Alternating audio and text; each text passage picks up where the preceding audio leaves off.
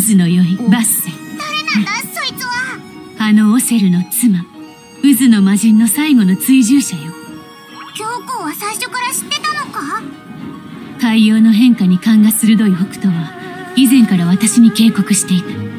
この時期に軍玉閣を再建したのもバッセンが持つ軍玉閣への憎しみを利用し海から誘い出すためよ。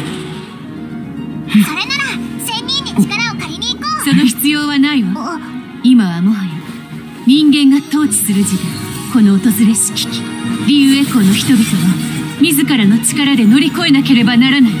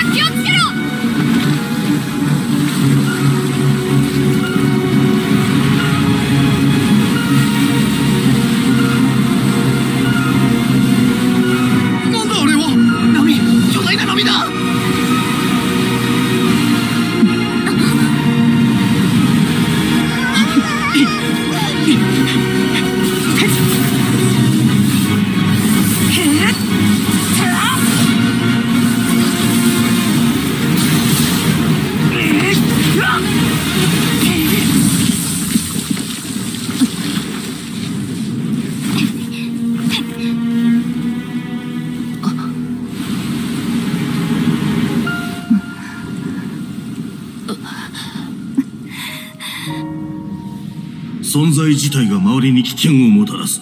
お前は生来そういう運命なのだ。彼女の命と引き換えにこのまま死んでくれれば。他人のため力を使いたいと思った時人間社会にも溶け込むことができるだろう。